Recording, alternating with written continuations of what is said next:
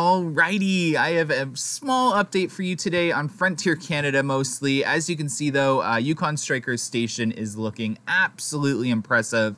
Um, they're installing the roofing on it. It's starting to look a lot taller um, than it has in previous videos, and I think that's just because of the color. So with the color um, being added to the building, that dark wood color, it's starting to look a lot more complete, which is really awesome. I can't wait to see it um, in person very shortly. I'm super excited about that. And uh, Frontier Canada wise, you can see the building being completed underneath the helix for Yukon Striker. A very large building is taking shape underneath the helix.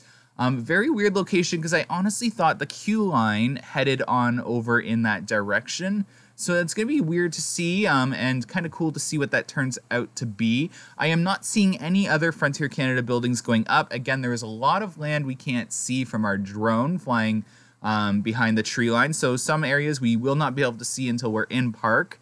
Um, it's still just a quick update. I don't think I've updated you guys in a while on this, but the second tunnel out of the vertical loop does not have a roof on it. Um, and at this point, it is definitely safe to say that it will not have a roof on it. It would have been installed already um, with testing and all that.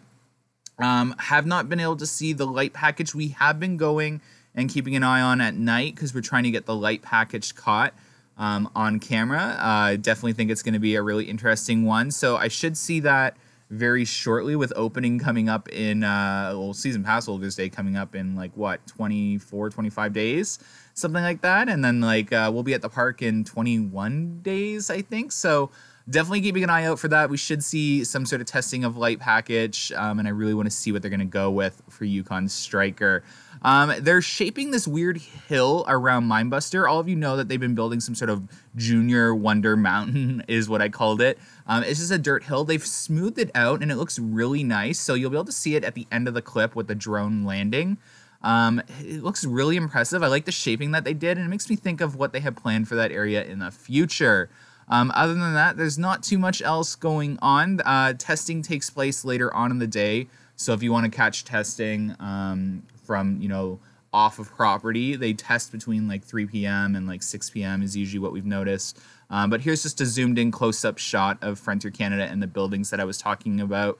Um, but yeah, not too much going on. Um, I from what Christian told me again, for you, those of you that don't know, I sold my drone. Um, it didn't make sense that Amusement Insiders needed two uh, drones. Um, so I sold my one. Becky was sold to a real estate um, company. Um, and we're now using what Christian calls his Hermione uh, to do our updates because, again, we'll be wrapping up drone coverage in about 20 days. Um, and we will not be flying on weekends anymore uh, just to avoid interfering with training.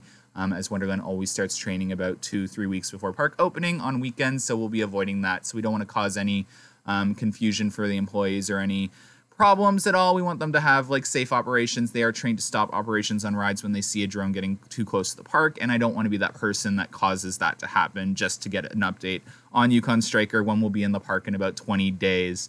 Um, that has always been my promise to Wonderland, and I will keep it. Um, so yeah, hopefully you guys enjoy this last two and a half weeks of drone updates um, as we uh, get ready for some awesome coverage coming up in literally two and a half weeks. Hopefully you enjoyed. Don't forget to hit that like button, subscribe if you haven't, and share this video for others to enjoy. Have a good one, guys. Bye.